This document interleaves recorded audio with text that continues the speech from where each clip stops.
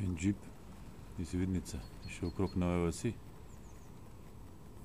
Poglej, če sem doma.